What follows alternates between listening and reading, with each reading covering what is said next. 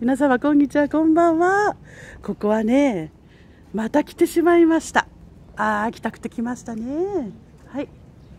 はい。今日は曇りです。足利フラワーパーク来ましたね。あっちにもこっちにもトイレあるからね。い。いよね。じゃあで初めにこの辺からねぐるーっと。いつもねこっちからぐるーっと回ってくるの。うんどうでもいいんだけど回り方？そうね。えお花。やっぱりマリーゴールドは強いね。ね。あららこっち向いてほらちゃんと。ね。ちゃんと向いてくれ。ね。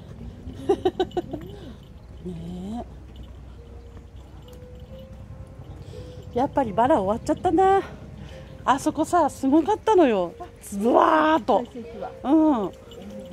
咲いてるのもあるけどねそう。で帰りねお土産ゆっくり見て、ねえここで撮ったんだよね。バラすごくてね。もう枯れちゃったね。ねえ。やっぱり1ヶ月遅かったか。前から来たかったんだけど。ねバラ終わってしまいましたここは。そうそう。ここの音楽街だよ。ピアノとバイオリンとか。ねクラシックだからあのすごくいい感じ。そう私のアイコンであの辺にね植わってたの。ピンクのバラ。そう終わっちゃったね。ねちょっとね。バラの季節は終わっちゃったか。この色も可愛いね。ね。なんか難しい名前だったんだよね。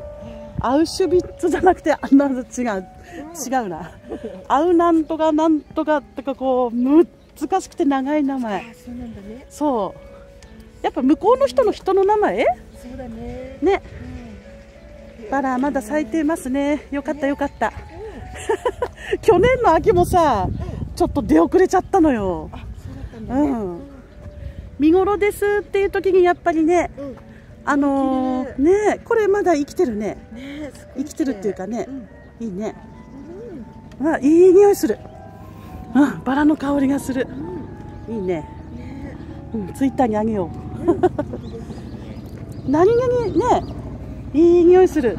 何気にこの下のねあれもこう派手じゃなくてねこれ。派手じゃなくて可愛いよ。ね。なんて言うんだろう。ね香りのいいバラさ。ねね家に植えとくといいよね。ね。ね。これフロージンフロフロージン82だって1982年にやったのかな？あかも。ねね。そうだね。なんだ上のヘリコプターがうるさいな。うん。せっかくいいピアノ鳴ってんのに